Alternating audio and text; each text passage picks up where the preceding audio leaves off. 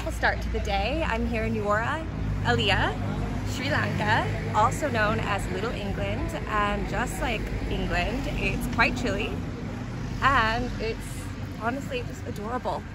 So here we go.